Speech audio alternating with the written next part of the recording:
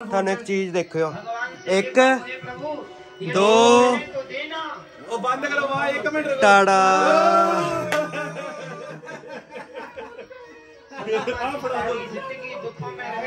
ਲਾ ਕੇ ਪੈਰੀ ਹੱਥ ਤੁਰਿਆ ਸੀ ਵਾਦੇ ਉਹਦੇ ਹੰਝੂਆਂ ਚ ਕਿੰਨੀਆਂ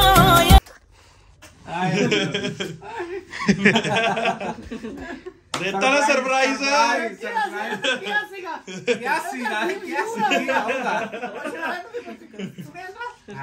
ਮੈਂ ਕਿ ਦੇਖ ਕੇ ਤੂੰ ਜ਼ਰੂਰ ਆਉਂਗਾ ਕਿੱਦਾਂ ਦਾ ਲੱਗਾ ਫਿਰ? ਬਹੁਤ ਵਧੀਆ। ਮੈਨੂੰ ਹੋਰ ਕੀ ਚਾਹੀਦਾ? ਜਿਗਰਾ ਦਾਦੂ ਐਨੇ ਦਿਨਾਂ ਦਾ ਐਨ ਰੱਖ ਕੇ ਬੈਠੇ ਢਿੱਡ 'ਚ।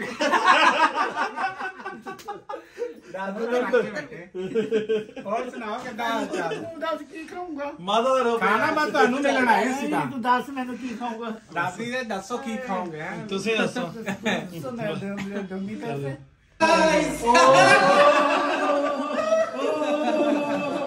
ਮੈਂ ਭਰਾ ਦਾ ਵਿਆਹ ਹੋਵੇ ਮੈਂ ਨਾ ਮੰਨਦਾ ਆ ਜਿੱਤੀ ਗੱਲ ਯਾਰ ਕੀ ਉਹਦਾ ਚਾਰ ਚੜ ਲੱਗ ਗਿਆ ਹੱਥ ਕਰਾ ਦੇ ਹੱਥ ਬਣਾ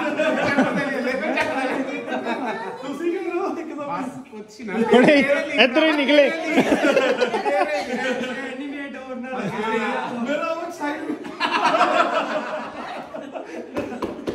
ਮੈਂ ਪੈਸਾ ਬਹੁਤ ਕਮਾਣਾ ਨਹੀਂ ਨਹੀਂ ਨਹੀਂ।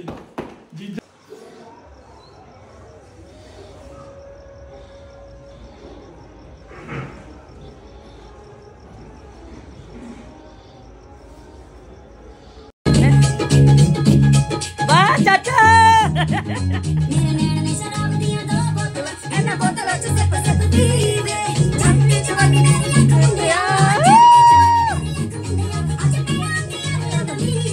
ਮੇਰੇ ਨੈਣ ਨੇ ਸ਼ਰਾਬ ਦੀਆਂ ਦੋ ਬੋਤਲਾਂ।